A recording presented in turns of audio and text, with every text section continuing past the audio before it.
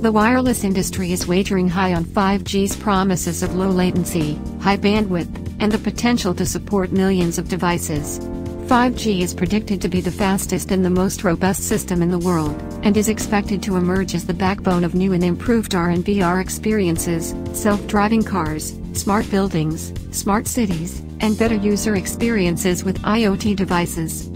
Although it is hard to precisely describe what a 5G future will look like, 5G is set to become the invisible fabric that will connect all devices and technologies wirelessly.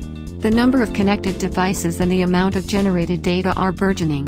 And reliable, consistent and real-time processing will be required to power the 5G future. It will depend on the data center infrastructure to bring 5G to life. Earlier data center and cloud infrastructure were concentrated in centralized facilities situated in more urban megas of technology.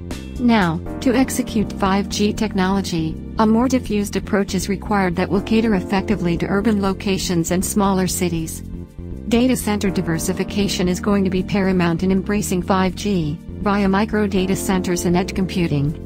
PRASA brings its Edge Center, which performs an important part in the actualization of 5G. It brings the data closer to the end customer. And, the closer the data is, the faster it will transmit to the end location. Edge Center enables 5G and facilitates speed in the 5G channel. And what is 5G if not a reflection of the speed it offers?